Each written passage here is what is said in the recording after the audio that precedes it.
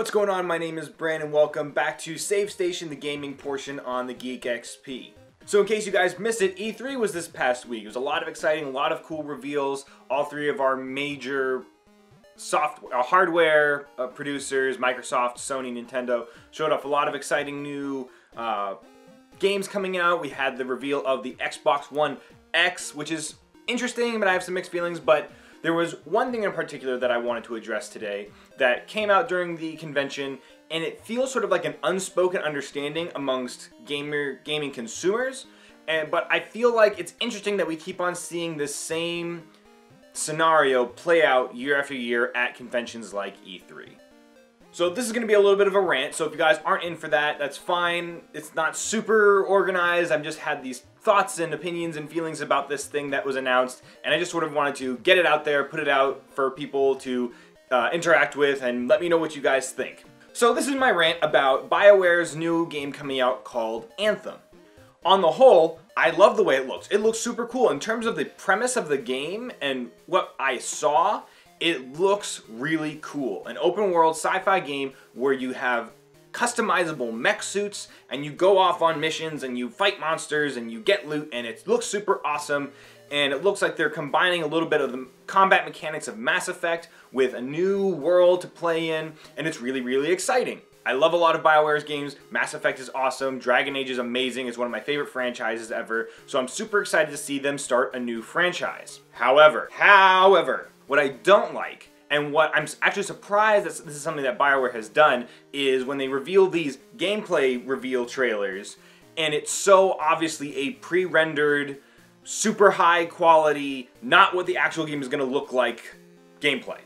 We've seen it so many times with previous games, and the ones that come to mind where this has been something that people have noticed are huge downgrades in titles like Watch Dogs, Tom Clancy's The Division, Rainbow Six uh, Siege, each of those were released, and those are all Ubisoft games. And Ubisoft has an interesting way that they have handled some of their releases in the past, and maybe it's more indicative of them, but I feel like this is something that can be addressed to the video game world at large. Especially for me, I know when I saw the Watch Dogs trailer at E3, I don't remember what year it was, it was super exciting. It was gorgeous. The new consoles were on the verge of coming out, so we were all super excited to see what this new hardware was going to be able to do. And they showed off amazing lighting effects, dynamic weather, volumetric lighting, you know, reactive like cloth sim on your character's outfit, this immersive world that felt like you could interact with at will but would still persist and continue to exist outside of your character and you were just sort of in this sandbox that you could play in. The Division was the same way. It felt very much like this very full, very dynamic world that really existed that your characters were in and you were able to explore and interact with and affect. And that it was there for your character to change. Or just respond to it however you wanted to play. Uh, they have like things where they would show like some part of the world shows up and the players, the, the, the players they always have these like voiceover people who are supposed to pretend to be like actual players and they all get along really well and they cooperate and they come in and out of the game and all that sort of stuff. But it's not really that's everyone's sort of like that's an interesting fantasy of how multiplayer games work. With anthem's gameplay trailer one it looks gorgeous and i'm totally un understand why developers when they show a gameplay reveal if they up the graphics for that reveal. I'm totally fine with that if they're running it, but as long as the gameplay is, and the world and the, the game itself is pretty indicative of what we're going to have in the final product. The game being a little bit prettier, I understand. It's a presentation, you are marketing, you want people to be impressed, especially after you've announced a new console. You want people to be excited about the technological applications for what games are going to look like in the future. However, it gets to a certain point where you're almost promising something that people know they can't have for the sake of pre-orders. And I have stopped pre-ordering games outside of franchises that I'm deeply invested in. I've stopped pre-ordering games because of weird chicanery like this. In the Anthem gameplay trailer, we see this character in this like little hub world. I imagine it'll work very similarly to uh, the last city in Destiny where you have this small hub world with some merchants and NPCs and maybe some like guild folk that you go into and you upgrade your mech suits and do all that sort of stuff, and then you go out into this open world. We'll see what that means. Open world is a term that video game developers have been using for a couple years now uh, for varying degrees of how that actually interacts with the, the player in the world. We see them get into their suit, they're talking to their friends, and they go out on this mission. Um, and once they get into the actual gameplay part of it, in terms of aesthetics, they have beautiful volumetric lighting, particle effects in the air that sort of mix in, and make it look like there's dust or smoke or mist. And then there's, you know, all these all this foliage and fabric that's actively moving around in this they have this bazaar that's full of high definition, you know, high fidelity characters that are interacting with and these are all the same hallmarks of all these other previous gameplay reveals where you show this dynamic, cool looking world that's full of NPCs, and then when the final thing comes out, you know, things like the audio. I remember when you look at the original reveal for the first Watch Dogs versus what actually comes out, a big part of the difference if you watch those side by side is the audio.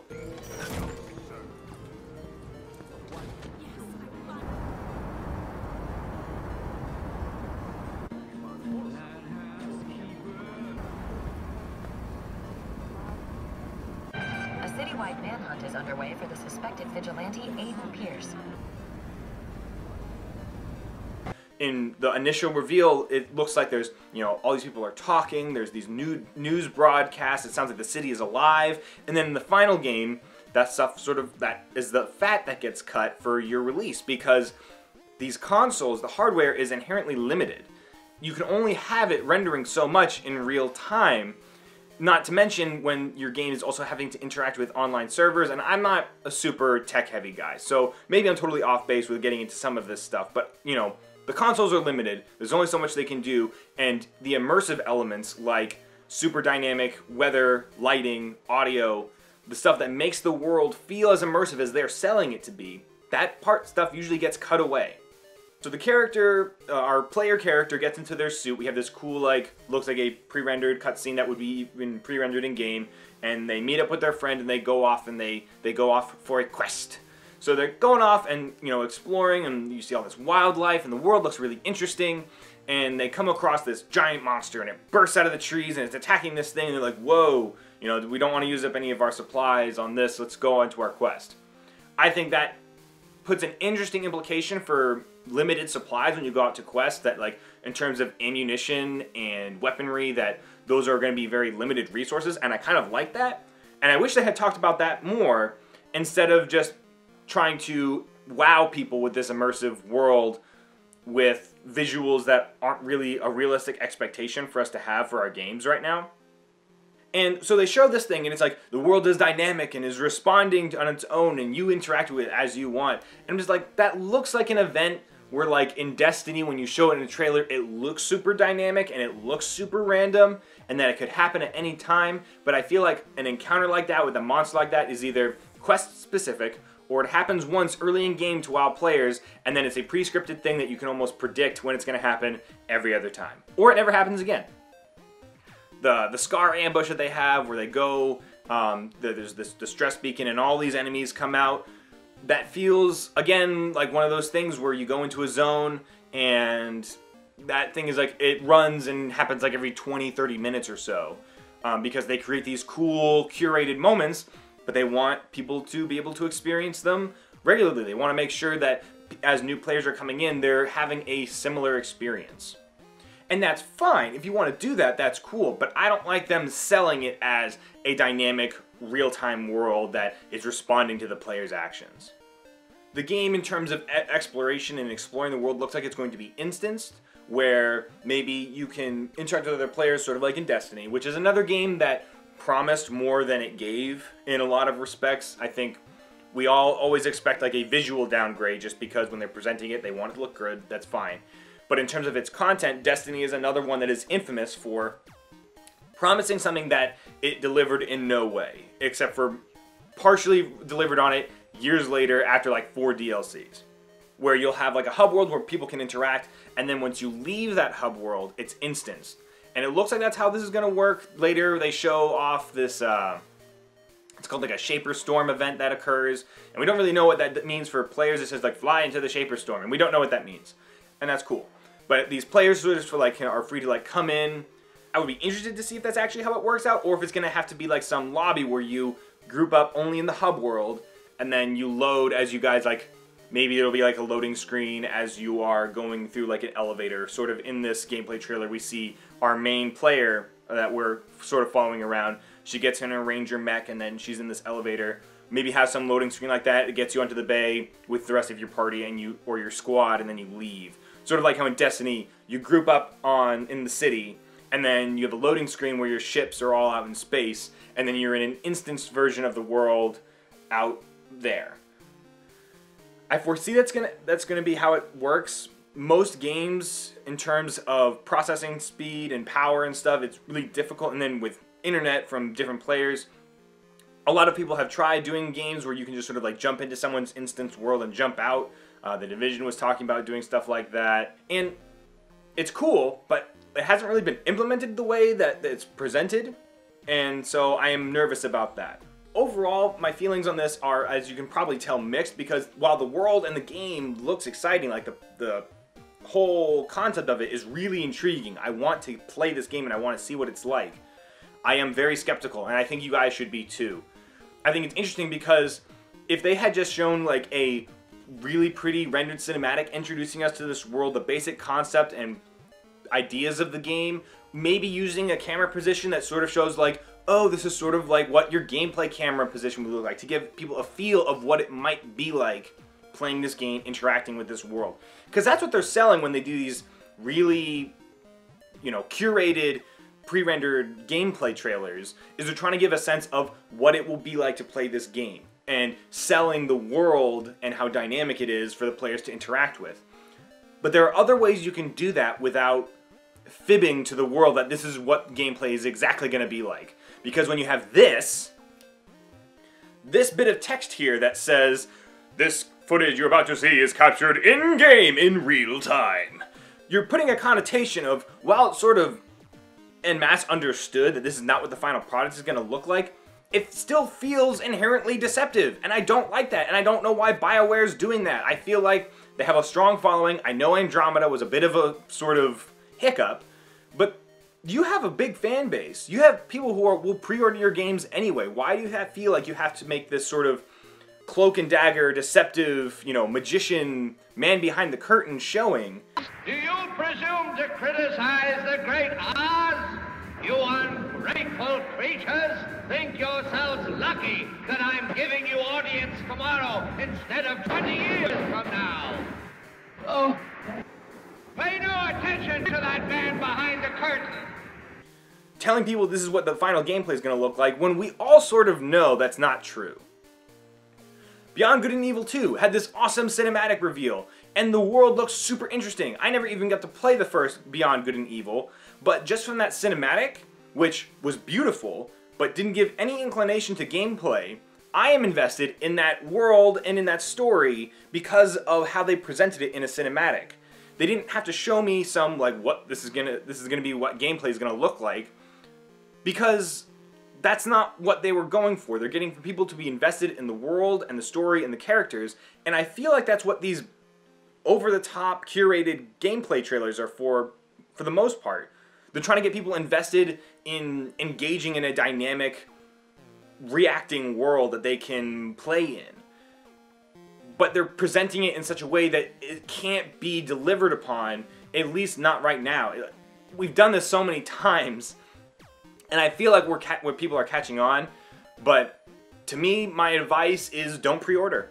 This whole the way they've done this, you know, I feel like it's just a ploy for pre-orders because it's guaranteed money in their pocket without and we're purchasing things without knowing how good they are. I would say wait for release, look for reviews, be be on the lookout for pre-release reviews, but be skeptical of them and wait to form your own opinions.